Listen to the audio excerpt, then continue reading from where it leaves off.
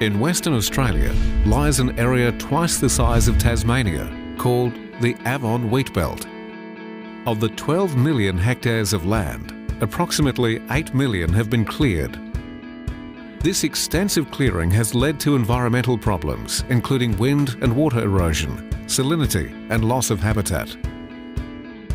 Agriculture is the predominant industry for this region, but with narrowing margins and a changing climate, many who live in the region are looking for other options to be able to keep farming while still looking after the environment.